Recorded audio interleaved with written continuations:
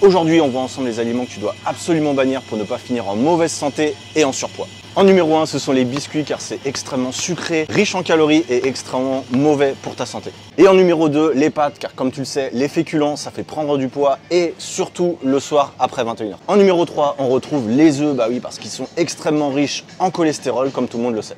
En numéro 4, on retrouve le lait car comme tu le sais, le lait est réservé aux veaux et donc absolument pas tolérable pour les humains. Pour finir, les bananes, surtout les bananes mûres qui évidemment vont faire augmenter l'indice glycémique et donc vous faire stocker énormément de gras. Bon, si tu me suis, tu le sais, tous les conseils que je viens de te donner, c'est complètement de la merde. C'est fait pour te faire réagir et pour te faire peur. En 2023, pour faire le buzz, il faut vous interdire des aliments plutôt que vous donner de bons conseils pour en choisir de meilleurs. Donc ici, plutôt que de vous interdire des aliments, pensez aux aliments que vous pouvez ajouter à votre alimentation actuelle, comme plus de protéines, davantage de fibres, et gardez-vous les aliments que vous aimez avec modération pour vous aider à tenir sur le long terme. Et pensez à liker cette vidéo si vous voulez d'autres vidéos pour réellement perdre du poids.